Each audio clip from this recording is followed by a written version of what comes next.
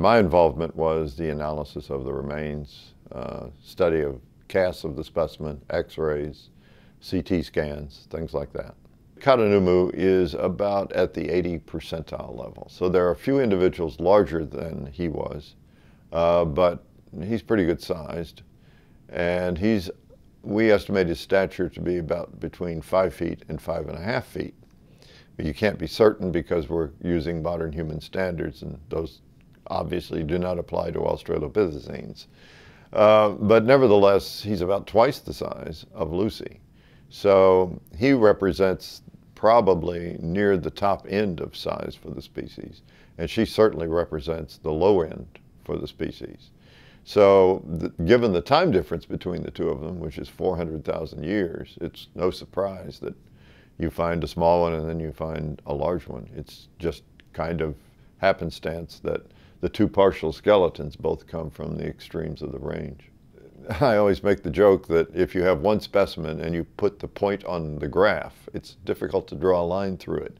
But if you have two points, you can make a line.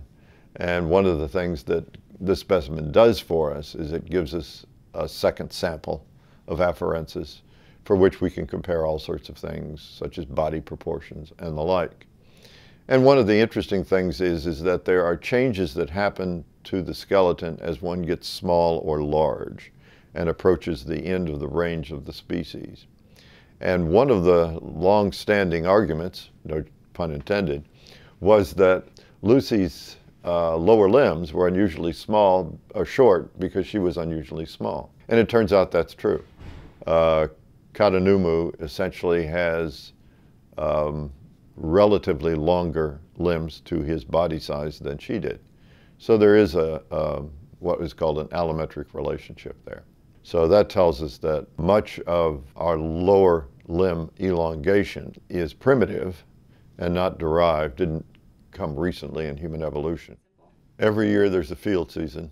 There's a strong possibility that something will be found of great significance. Sometimes it's more recent than this material, but that helps us fill in the gaps in other parts of human evolution as well. So 10 years from now, we'll know a lot more than we know right now.